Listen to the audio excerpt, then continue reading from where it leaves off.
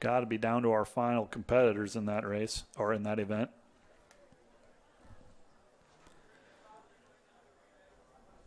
Men's 4 by one Midland and Dakota Wesleyan running in this first section.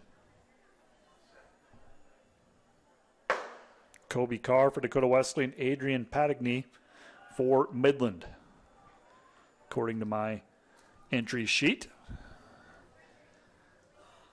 It's Dakota Wesleyan handing it off first. Midland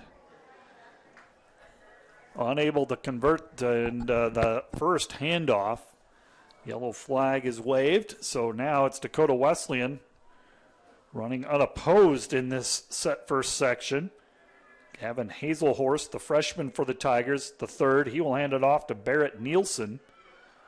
So Dakota Wesleyan running alone here in this first heat after the bad exchange from Midland. Dakota Wesleyan. I'll tell you what their time